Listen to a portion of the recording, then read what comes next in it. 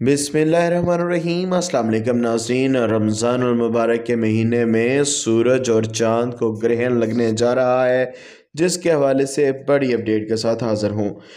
Viewers, आने वाले दिनों के दौरान, यानी कि इसी रमज़ान 2024 में पहले चाँद को ग्रहण लगेगा और फिर सूरज को, नाजरीन बैन अवी खलाई अदारे नासा के मुताबिक रमज़ान मुबारक 2024 के इस महीने में मार्च से अप्रैल के दौरान दुनिया के मुख्तलिफ़ ममालिक में दो ग्रहण देखे जाएँगे।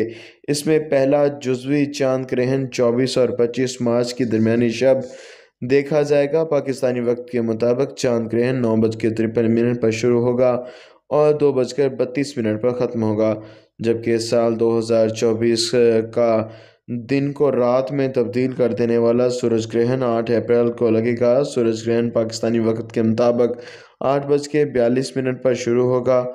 ग्यारह बजकर सात मिनट पर मुकम्मल सूरज ग्रहण होगा और एक बज के बावन मिनट पर सूरज ग्रहण ख़त्म होगा।